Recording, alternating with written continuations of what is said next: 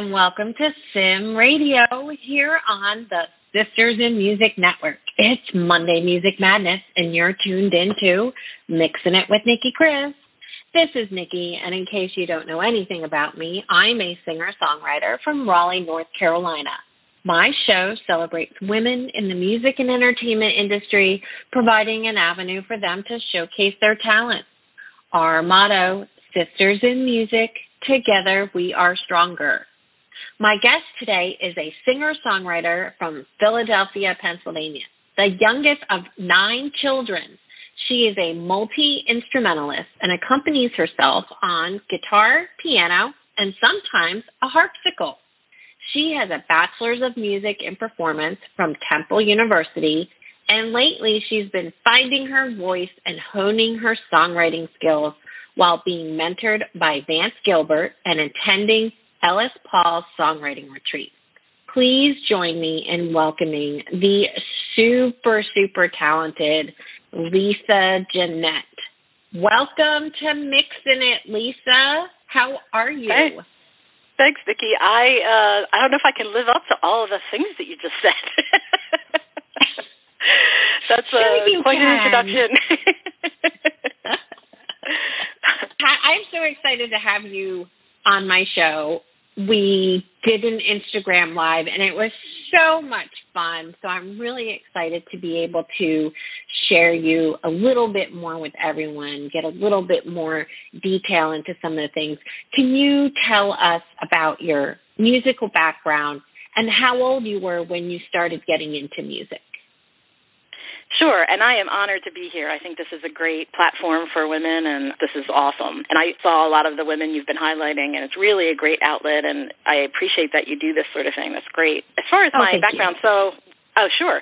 It's hard to say exactly when it started because my brothers had guitars, and I always say I time shared their guitars. Well, when they weren't home, so I would sneak away and play their guitars, and when they would get home, I'd hand them back. And that's kind of how it started with me. And then I started taking like piano lessons at the convent where I went to school when I was like in third grade, and then it just kept snowballing. And I was I was in high school. I started playing the double bass and got into classical playing, and that's where I went to Temple and I studied with Henry Scott from the Philadelphia Orchestra. He's retired now. It was a great training, and I don't regret a thing. And I learned a lot. And at that time, I wanted to be a bass player in the Philadelphia Orchestra. That was like kind of my goal.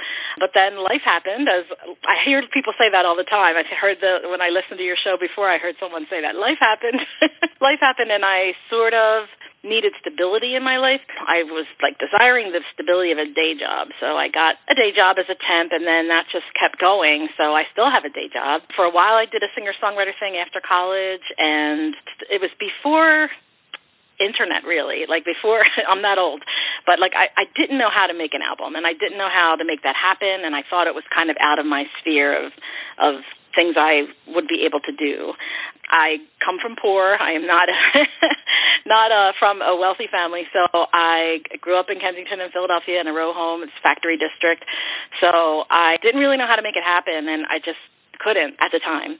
And then it just like, you know, I kind of took like a 20 year hiatus. It didn't do much music at all. And then when I met my husband, he had a house with a, a baby grand piano in it. And when I moved in with him, I just started writing again, and it's like it was sort of like just the piano inspired me. Just living with this piano just started making it happen. And you know, my husband was like, "You have to record these." So my first album, he and I recorded together in our basement. And then second album, Jellyfish on the Moon, which is kind of, you know, what I'm talking about today, was done in the studio with Glenn Barrett at Morningstar Studios. And that was just a great experience. I'm like thrilled that that was able to happen. So that's where I am now. awesome. Well, you mentioned that you started out in the classical realm, and it's actually quite interesting how similar our backgrounds are with the doing the day job thing, stepping away from music, going back to music after many, many years, that type of scenario. Starting out classical, because I actually am a classically trained vocalist. That's how I actually. Oh wow! Oh, that's they, incredible. Yeah, they. Oh, I was being pushed into opera, and um, wow, you know, I was just like, yeah, I don't know, but anyway, didn't go down that path. But obviously the music and we're going to get to jellyfish on the moon in just a minute but you know your the music is not classical so how would you describe your music I love to call it kaleidoscope folk, which is something I made up. it means nothing to anybody but me. But I love the idea of kaleidoscope because a kaleidoscope is like it changes, it's you know, it's colorful. You are able to kind of change it into what you want. So I cross genres a bit. I'm not like specifically folk or specifically jazz or specifically pop. I really cross genres a lot, and I think a lot of people do. We all want to categorize something and say, oh, it's folk, or oh, it's musical theater, or oh, it's pop. But there's so much influence. I, and with the accessibility of music and all the ways you can listen to music and get influenced it's just everybody has more than one influence. And and I think that more and more people are kind of branching out to different genres. So uh, it, it's hard for me because it's hard for me to market because there is you know a folk market and you know more of a like indie market. And they're not all like the same thing or the same mm-hmm. people. So that makes it hard to market. I mean, that's the the not so great part. The great part is it's easier to sound a little bit unique or a little bit like it's something that's my own because I'm not singing just like someone that sings this way or that way. Right. Right. Yeah, it's pluses and minuses. I think there's there's a couple people that are in similar situations as yours. I wouldn't even call it a situation, but uniqueness in crossing the the genre methodology mm-hmm. and not really being pigeonholed in one in space. And pluses and minuses, as, as you say, definitely from a marketing social interaction perspective or even promotion and stuff like that can be a little bit challenging. But I do think it makes you unique. And, you know, having heard you do some of these songs live already and then also listening to the album, I mean, it definitely suits you. And I'm glad that you're doing this mess up, if you will, of various different types of genres because it certainly does suit you and your tone and what I've gathered from the type of things that you write. Do you have or do you pull from like specific musical inspirations or influence or did you for this particular album, Jellyfish on the Moon? Yeah, I always think that's a difficult question because I feel like everybody influences me. Like everyone I listen to influences me. So it's like hard, but at the same time, so being the youngest of nine, I grew up with three generations of music before me. So my older sisters and brother listened to like Motown and that sort of thing. And, you know, you also get your, like your parents listen to. My parents were like Tommy Dorsey and like big band and, and Tammy Wynette and things like that. And then the middle generation was more into like a folk thing or, you know, Neil Diamond or John Denver or that kind of Jim Croce and Cat Stevens. And then the ones closest to me, my two brothers that are closest to me in age, that you know, one was into hard rock like Led Zeppelin and Aerosmith, and the other one was into prog rock like Pink Floyd and that kind of thing. So I had a lot of influences around me all the time with all this different flavors of music that I just like a sponge I just sucked up from my siblings. so I I think that all you know and and I loved Genesis, I loved Fleetwood Mac and Billy Joel. I was a big Billy Joel fan. I was a huge Fanilow. I was a huge Barry Manilow fan. Which I like to call a Fanilow. I was a Fanilow. And my mother listened to musical theater, so it's like there's so much that I probably have drawn on through the years that it's hard to answer that that question in, in one breath. so I I tend yeah, to go but on. I mean, yeah, but it's great because you you did right. So I mean, having all of those different types of musical influences, genres, artists, musicians, however you you want to call it, being catapulted into your life made you who you are today and that is actually one of the reasons why right? You don't like to pigeonhole yourself which is great. Yeah. Which is absolutely fantastic right? So that's awesome. Thank so, you. yes you're welcome. Let's get to jellyfish on the moon. What can you tell us about this album and its creative process So, Jellyfish on the Moon, the, the actual song is the title song. I took it from a TV show called One Strange Rock, and Will Smith was narrating the show. There was it was a series. I don't know if it's still going on or not, but they had this segment about how NASA sent these jellyfish into space, not necessarily the moon. I think it was the space shuttle, but they send these jellyfish into space, and then when they brought them back, they could no longer tell up from down. They had evolved. So for some reason I just resonated with that story because like the times I feel like like did I come from some foreign place? Because this world makes me topsy turvy you know it makes me feel like mm-hmm. I don't know up from down like sometimes.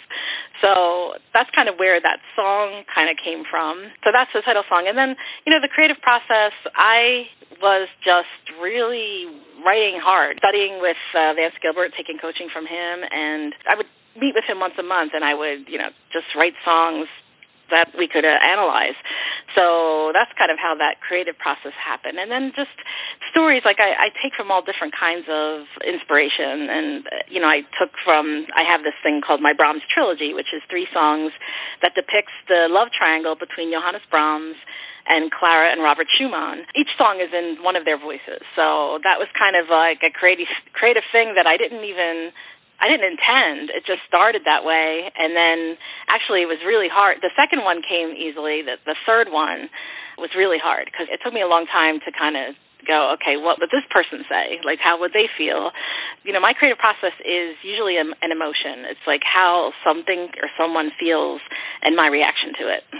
I love that. Absolutely love that. And I'm starting to hear that a lot from the people that I've been speaking to and it's very refreshing. Even even a lot of the real young budding songwriters that mm-hmm. you know haven't been doing things a lot, they're like, well, I really want to write meaningful lyrics, which is very different than a lot of what we hear on mainstream radio, mm-hmm. if you would call it that, today. Mm-hmm. Because a lot of what you hear I don't know about you, but sometimes I'm like, okay, that doesn't even make any sense. you know, where yeah, did they come no. up with that? You know, it doesn't even make any sense. It's not even what. But anyway. yeah, and you know, it's not. Write. It's not always about the lyrics for some people. You know, some people just they don't even hear the lyrics, which you know, I, I I really focus on the lyrics, obviously, as a songwriter, but I think a lot of people just don't. Like, it's more about the music and and that sort of thing. So I think that's that's just a different audience, I suppose. yes, definitely, definitely. Well, we're going to play a song from the album, but I would like you to tell us a little bit about it. First, we're going to tee up "You Don't Look My Way." So, give us a little overview of what that song is about. So You Don't Look My Way is one of the songs from the trilogy, and it's in the voice of Robert Schumann. Clara and Robert Schumann were like kind of a power couple back in their day in the mid uh, 19th century. And Clara was a virtuoso pianist. She was a composer in her own right. She toured. She was a touring musician. They lived in Germany. She toured England and the Netherlands and Russia. So she had it going.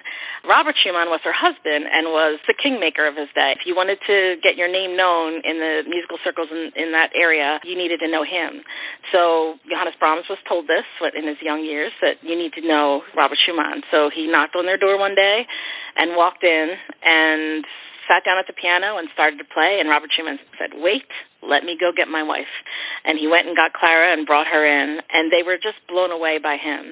And then Clara and Johannes Brahms had an attraction for each other, and it kind of created this little triangle.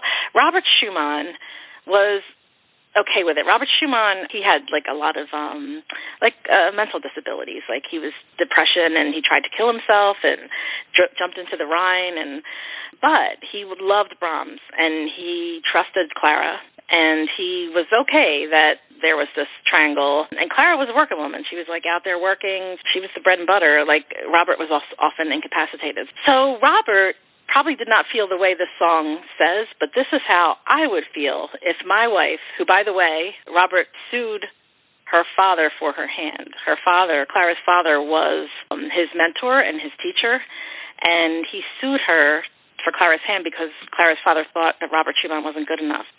So to me, if I had gone to such lengths to to woo someone, to to have their hand in marriage, and to love them and give them I think seven or eight children they had, and then they were like attracted to someone else, this song is how I would feel, not necessarily how Robert Schumann would feel. Yes, and I completely agree with you on that. And I definitely think that you've captured the essence of that. So we are going to play this for everyone. Here is You Don't Look My Way off the album Jellyfish on the Moon by Lisa Jeanette.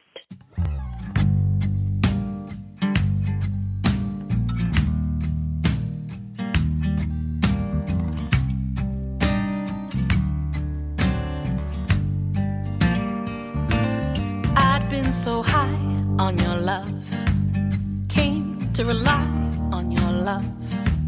Now I ask why.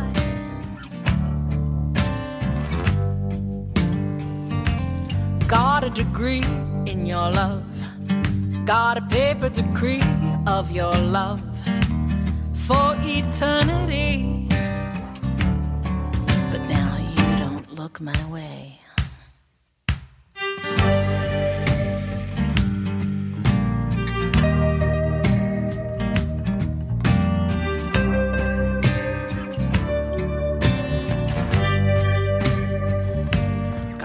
My knees for your love. Sued your enemies for your love. Cut down family trees. But now you don't look my way. I faced every fear for your love. Shed salty tears for your love. Gave my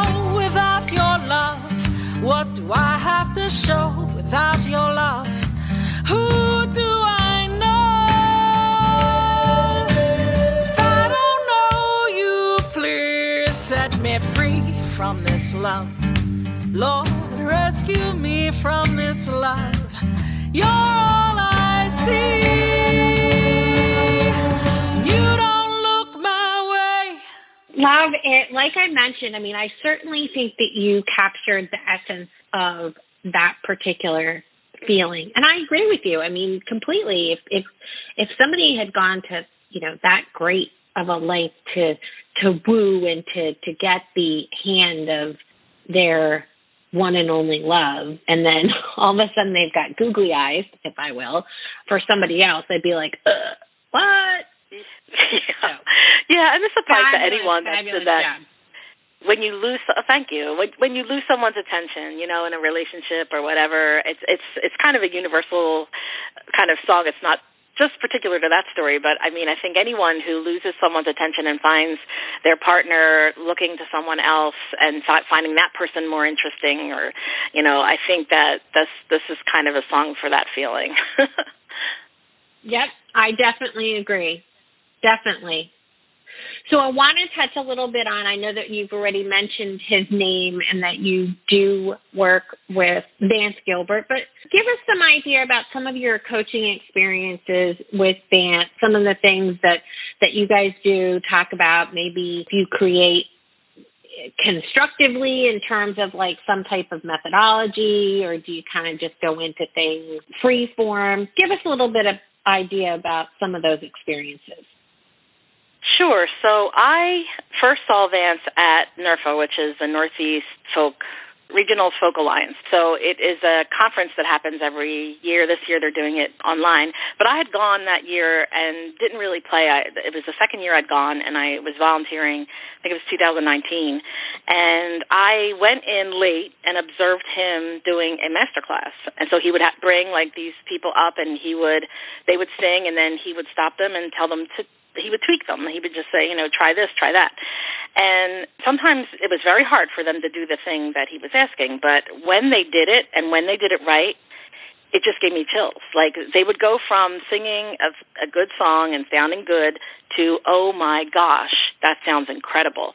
And I saw him do this with several different groups and different artists, and I was like, I have to have that. I need that kind of performance coaching. So it took me a year or like eight months. I, I stalked him for eight months, and I finally caught up to him. And I ended up doing it, like I said, once a month. And basically, he will go, and we did this, you know, he's in Boston, I'm outside of Philly. We would do this online, and before there was COVID, we were doing Zoom sessions long before.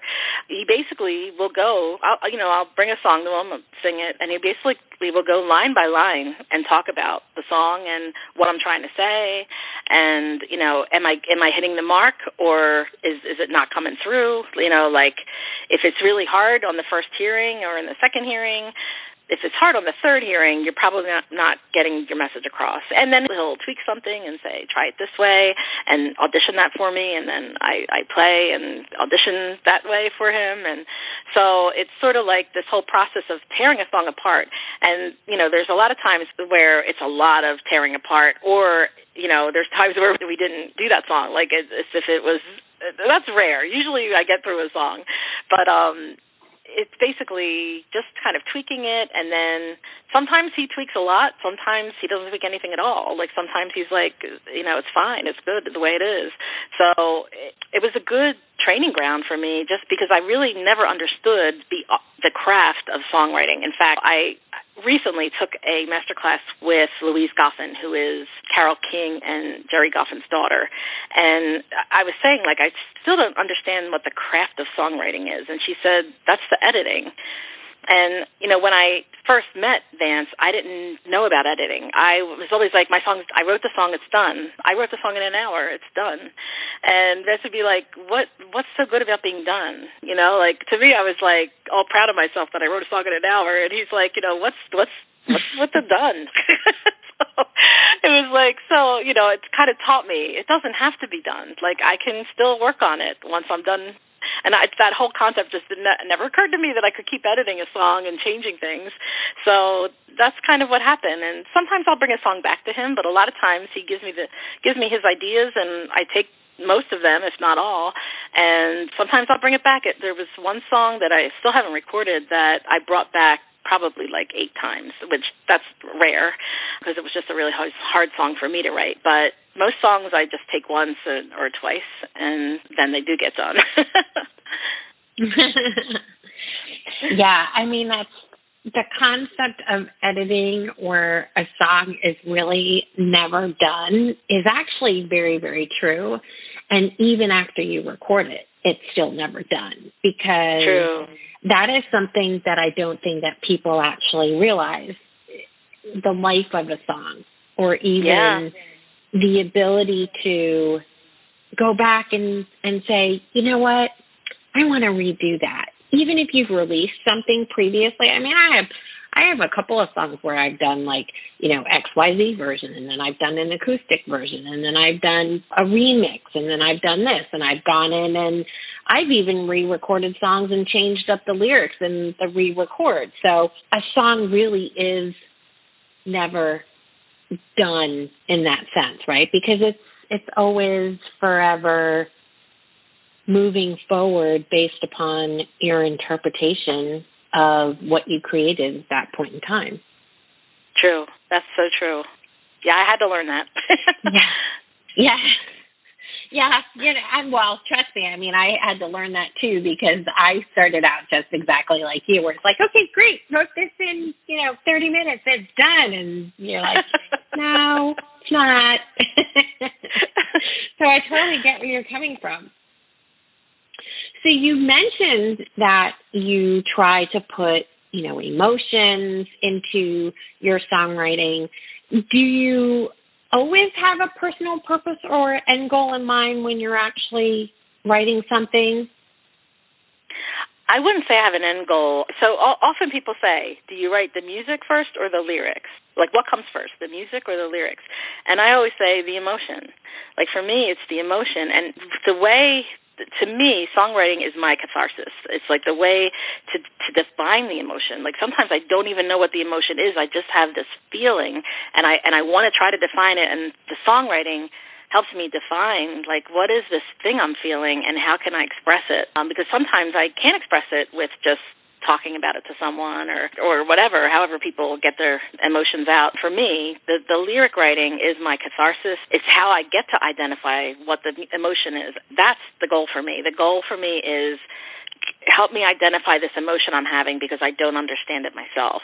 I absolutely love that. I think that is a fantastic methodology to live by when writing a song so, with that, this is a great place to take a short break. Here for a word from one of our partners in podcasting. This is Chatting with Nat. We'll be right back on Mixing It with Nicki Kris here on SIM Radio. Chatting with Nat is a podcast for independent women seeking to speak their truth and to break down barriers. We host honest conversations that help to guide and empower women.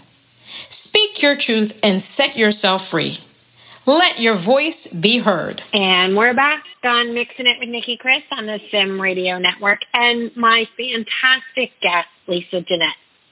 If you would like to collaborate with anyone, who would it be and why? Oh my gosh, that's a tough one. So let me just say right off that I am not good at collaboration. I am very much a lone ranger. I wish I were better at it because I recently heard I was there was a panel discussion at one actually it was a NERFA a Folk Alliance thing and I asked the question, what is the best way to build audience? and their answer was collaboration. And it doesn't come naturally to me. I, I have a, a personality that is very empathetic, so when I'm with someone, I defer a lot and I want them to be comfortable. My fire gets uh I do it myself. They don't do it to me. I do it myself where my own fire gets kind of uh put out a little bit. So I am not at my best in working with someone. I wish I were better at it. I want to get better at it, but I tend to like draw it, draw back, like withdraw when I have to. Uh, there's been times where I've had to collaborate with someone in a workshop or something like that, and I just let them go. I just you know line them up and let them go, and then just, I'm just kind of sort of like an observer, and oh maybe change that word or something. I'm just not really good at it, and maybe it's that I need to do more of it. But if I had to pick someone to collaborate with, it'd probably be like I don't know Joni Mitchell or Stevie Nicks or nice, um, nice Carole King. Carole King, I would love to collaborate with her, but you know like how dare I? Like the, the fact that I'm bad at it to begin with. Like if I were like in their presence, I would be like anything you say. you know, like, so I don't know if it would work at all. it does take getting used to, right? Everyone yeah. has that initial, oh, I want them to be happy methodology. I, I was even like that when I did like my first couple collaborations, mm-hmm. very much that way. I have a couple people that I work with on a regular basis, so you know, familiarity. And then there are some things that, you know, I don't think that, I could ever work in like in a Nashville type of group just because it's too cookie cutter for me. And, mm. you know, with the methodology of whoever's in the room gets songwriting credit and I would be like, well, wait a minute, they didn't even say a word. Why are they getting songwriting credit? oh, you know, yeah, I'd be oh, sitting true. there like going, well, wait a minute, they didn't even contribute. What are you talking but that's where it's like, but I actually like collaborating with people. So you should try and do more of it just to, you know, even get a little bit, little bit more comfortable with it because it, I actually do agree that collaborating with other artists, with other individuals, even out of your comfort zone, put it, you know, maybe like a area that you've never even worked in before does open up unique opportunities. Yeah, I, I believe Definitely it. does. yep, yep. So another question that I wanted to ask you was, you know, how does your music fit into your your local scene? Right. Obviously, I, I believe you're still in the Philadelphia area. Mm-hmm. So does your music fit into the local scene there? And if so, how do you take advantage of that? So there is a very strong network of songwriters in the Philadelphia area and Philadelphia and surrounding areas, you know, dipping into Delaware and Jersey as well. They are the most supportive group of people. Uh, the, the songwriters that I've encountered, and there's a couple different groups and a couple different pockets, but they're all the most supportive people, the most encouraging people, and they make you fit in. Open arms, embrace you, and make you fit in. And I've had nothing but good feelings and reactions from the Philadelphia songwriting community. There's a lot of it, and it's all good. So, you know, in that way, so I've you know had people ask me to open for them, which was uh, a delight, and you know, in that way, I've had collaboration where you know I did gain some of their audience sometimes when that happens. Basically, it's a it's a great scene. I don't do a lot of playing out like live playing. I did a lot. Actually, in 2019, I did like tons of festivals in this area, like just crazy, and to the fact where it had my head spinning. It was it was a little bit too much, honestly. But you know, this of course since COVID, I haven't done any of that. But that's kind of the most playing I've done is like festivals, and every once in a while, I I'll get a gig somewhere. But it, it's uh, I don't do a lot of a lot of like playing or touring because I do have a day job, and it's it's not an easy job. It's like you know, it's something that I have to put my mind to, and it takes a it takes my creative creative energy out. Sometimes it's hard to balance both, but I guess you probably have to do that too if you also have a day job where you're trying to balance how much can I do, like how much performing can I do? How much recording can I do? When you have these other things to to, to weigh in and and balance. Yeah, I mean, it's one of those things where I, like I like to tell people I'm like ten full time. you know, I mean, it's one of cause, you know, I have I I'm married, so I you know as well, right? And I have kids, and I do sisters in music. I do my own music. I mm-hmm. do fifteen million other things. So it's challenging, and also too, especially COVID started shutting things down and as well. I know a lot of people are doing the live streaming thing. I chose to do the podcasting thing. I guess that's my live streaming contribution, if if you will, rather than live concerts and stuff like that. But I'm glad to hear that you are going out and doing a couple of things because I do think that your music it's very audience and family friendly. You mentioned you're doing that festival again. I think you've got that local festival, right, that you're doing? The Philadelphia Folk Festival, I, they kind of really changed that up this year. Like, it's very different. So I was supposed to play that this year, but I think that's maybe next year I'll, I'll have a better opportunity because they next really year. Skimmed it down, yeah, to to like a two day event. It's not at the same place, so yeah, so that'll probably hopefully be next year. But I agree, it's like fun to play, and I I think if it weren't for quarantine, I wouldn't have gotten the album done because I basically run too much. Like it sounds like you just have a lot going on and I'm kind of the same way. Like I have a church gig that I just resigned from because it was just you know, I'm the sort of person that fills up my days and nights and then and then there's nothing left. You know, it's like so I think it, especially when you have kids. I, I don't have kids, I do have a husband, but I think it's a lot and COVID slowed me down. Like it was like you know, there's nowhere to go. So it helped me focus on well, what is my priority, and and it ended up being the album. So that's how that got done. If if it weren't for quarantine, I'm not sure it would have happened.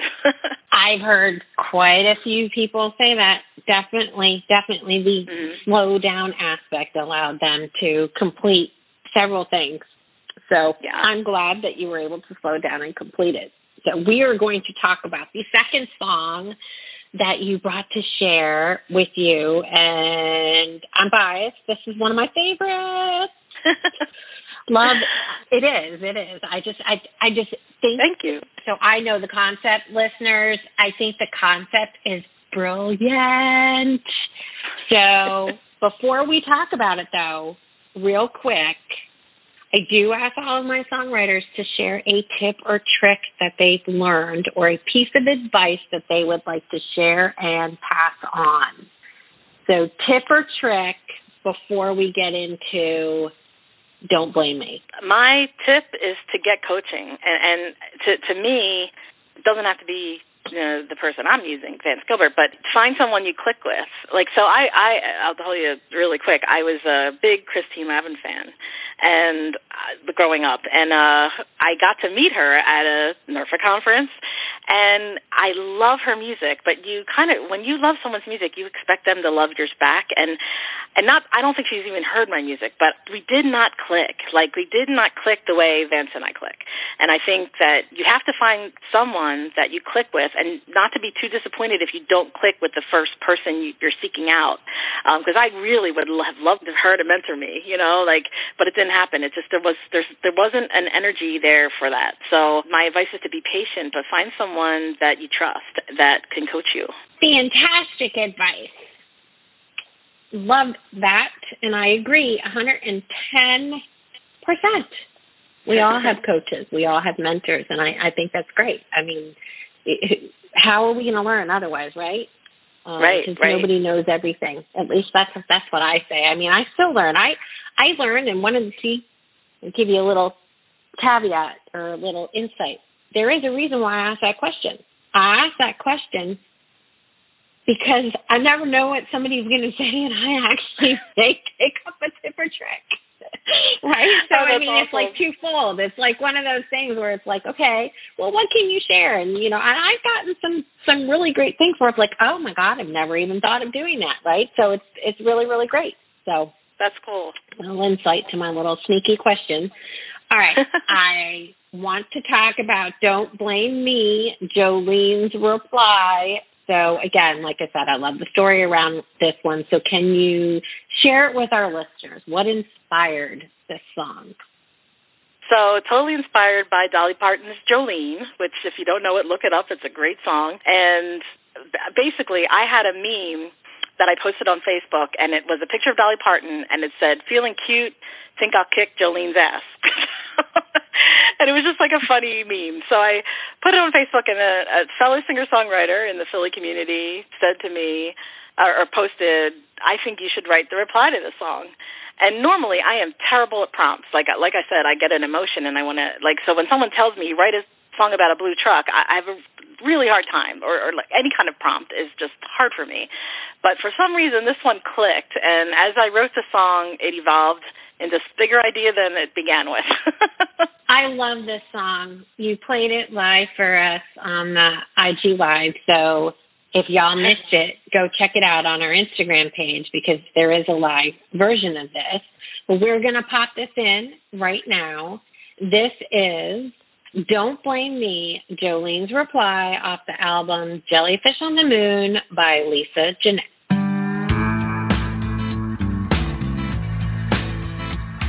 It's me, Jolene, who takes the blame. I hear you yodeling my name every single time you get the chance. You declare that I'm the one who came along and spoiled your fun. You're just using me for your snake dance. Blame me. Some say you're the finest woman they've ever seen. I don't want to compete with you. I don't want your man, your man wants me. That song you sing is such a fraud. You spin your tail like Scheherazade, as if your live nor dying depends on me. Your imaginings put me through hell. The truth is stranger than the story you tell. Listen up, the truth will set you free. Don't blame me. Some say you're the finest woman they've ever seen. I don't want to compete with you. I don't want your man, your man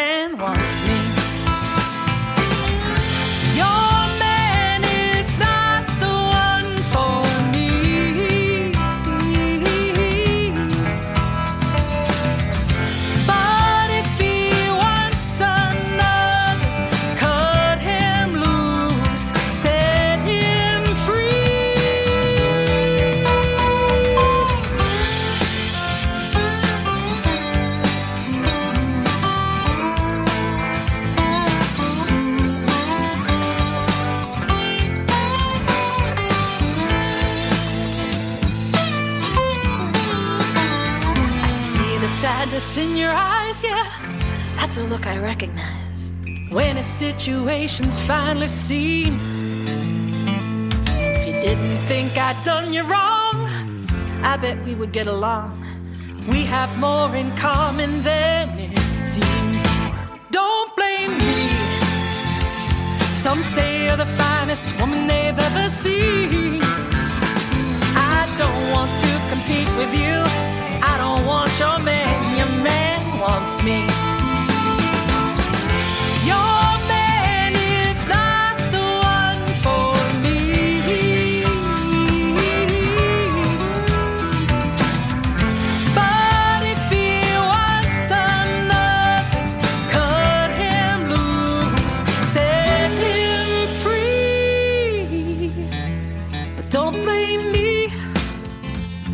I'd say you're the finest woman I've ever seen.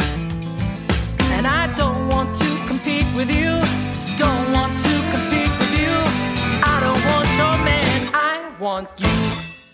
And we are back on Mixing It with Nicki Kris. That was Don't Blame Me, Jolene's. I love that song. I really do love it. And I love the concept. I think it's a brilliant, brilliant thing. And that is actually one of my songwriting tips and tricks is to take a song and write a reply to it. So Ah, that is a good love one. the That fact, love to see that in action. So fantastic. And it is one of my favorites. And Thank your you live much. version that you did was fantastic, great too. So kudos, congrats on that. So Thank before you. we close things, you're welcome. Before we close things out, what is next for Lisa? New music on the horizon? Anything coming down the pipe? Anything that you want to share with our listeners? I have about three albums already written. I have quite a lot of songs that I want to record. The next album I do, I've been thinking about using like a jazz trio to do it. Uh, I'm not sure if that'll work or not, Yeah, but that fun. was kind of like a concept I have for some of my songs that I've written that are kind of more in a like a classic, like a standard kind of song. So we'll see how that goes. But yeah, I do have more to come. Excellent. Where can they find you on social media? I'm pretty much everywhere on Twitter, Facebook, Instagram, and my my website lisajeanette.com is where you can get all my mailing list. You can buy my album. Um, it's it's also on all the streaming services, so Pandora, Spotify, Amazon, whatever. It's it's all over the place. So pretty easy to find. Excellent. Well, we will make sure to tag your website and some of your social links. Until then, Lisa, thank you so, so much for joining me. It really has been an absolute pleasure having you on the show. I'm so glad I have been able to share you with everyone. Y'all, thanks for tuning in for Mixing It. On behalf of everyone at SIM Radio, this is Nicki Kris. Till next time, keep on Mixing It.